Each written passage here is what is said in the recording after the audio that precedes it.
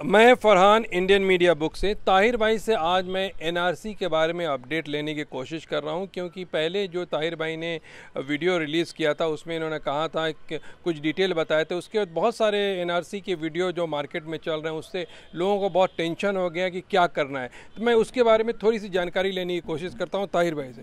ताहिर भाई, आपने बहुत सारे लेटेस्ट वीडियो देखे होंगे एनआरसी के बारे में, लेकिन आपने जो कहा था, वो थोड़ा अलग हट के था। तो क्या डिफरेंस है आपके बोलने में और जो लोग के नए एनआरसी के वीडियो हैं?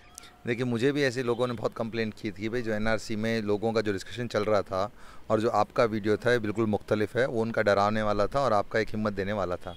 तो मैं आप लोगों को बता दूँ, देखिए, जो मैंने जो वीडियो दिया, किया है वो मैंने पूरे एक रिसर्च के साथ उसकी एनआरसी की हिस्ट्री क्या है, असम में से रिलेटेड क्या है, अगर जो अगर हिंदुस्तान में होगा तो क्या वजह से, किस तरीके से होएगा।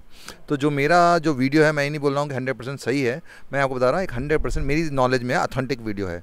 तो आपको डरने की क्या भी ज़रूरत नहीं है डॉक्यूमेंट बनाना है, हमारा एक फल, पहला फ़र्ज़ है डॉक्यूमेंट बनाने का, मगर डर के नहीं बनाना है, हम एक जो एक होश में रह के बगैर डरे डॉक्यूमेंट बनाना है, यही मेरा एक मैसेज है। और जो लीटर जो जो भी अगर डराने वाले वीडियोस हैं। अगर आपको लगता है कि उन्होंने हिस्टोरिकल फैक्ट्स डेट के साथ जैसे मैंने बताया था वो सब प्रेजेंट किए हैं तो आप उनसे क्वेश्चन कर सकते हैं कि इस इस चीज़ को वो कैसे इम्प्लीमेंट इंडिया में हो सकता है। मगर जो मेरी अंडरस्टैंडिंग है और जो मेरी रिसर्च है इस बारे में जिस डरने की हमें कोई ज़रूरत नहीं है हमें हिम्मत से काम लेना है। ऑफकोर्स हमें पूरे डॉक्यूमेंट अपडेटेड रखने हैं मगर हमें डरने की कोई ज़रूरत नहीं। इसकी एक छोटा सा एग्ज़ाम्पल बताता हूँ मैं आपको।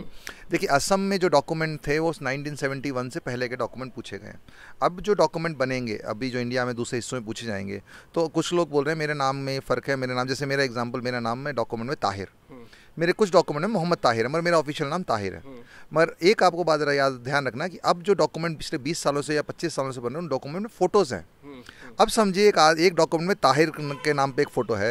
एक डॉक्यूमेंट मोहम्मद ताहिर के नाम पे फ़ोटो फ़ोटो है या मोहम्मद ताहिर के नाम पे स्पेलिंग में फ़ोटो कुछ फ़र्क है। तो क्या फ़ोटो को डिनाई कर सकते हैं क्या? वो भी एक फ़ोटो भी तो एक वैलिड प्रूफ है। तो हमें उतना ज़्यादा डरने की ज़रूरत नहीं है कि हमारा स्पेलिंग ऐसा हो गया हमारे बाप का नाम ऐसा था वैसा था ऐसा था।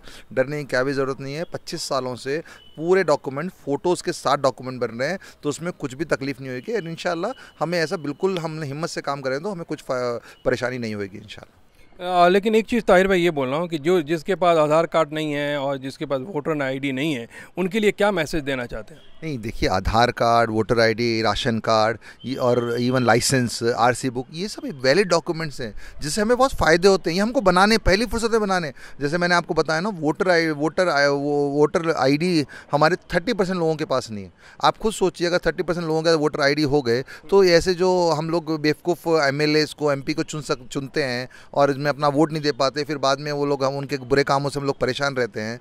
तो इस चीज़ को हम रोक सकते हैं वो हमारे राइट की वजह से कर सकते हैं। आप पासपोर्ट रख के वोट डाल नहीं सकते। आप वोटर आईडी जब आपका बनेगा आपका वोटर लिस्ट में नाम रहेगा तभी आप वोट डाल सकते हो। तो ये बहुत इंपॉर्टेंट डॉक्यूमेंट्स हैं इनको बनाइए। और जैसे इनके नाम एड्रेस बिल्कुल करेक्ट रहना चाहिए इसमें।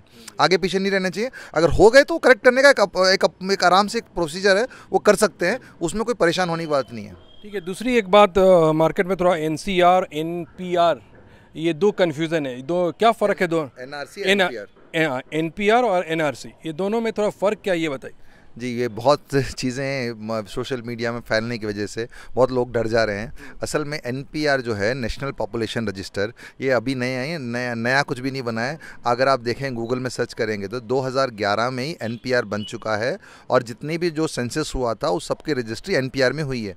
और अब दोबारा वो एनपीआर का डिस्कशन क्यों ना कि दो हज़ार में फिर दोबारा सेंसस शुरू होना है। तो गवर्नमेंट इसकी जो करना है, जो प्रिपरेशन करना है, वो टू से करना है।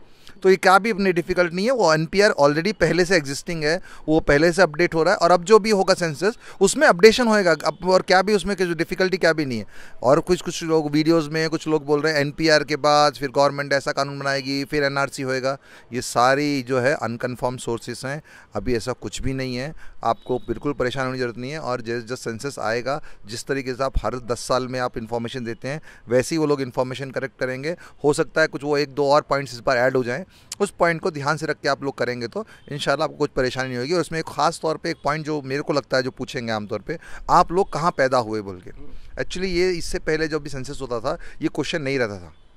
तो आप लोग कहाँ पैदा हुए तो बोल के आप ध्यान से रखना है। क्या होता है कई बार जैसे कि एग्जांपल मैं बेंगलोर में पैदा हुआ।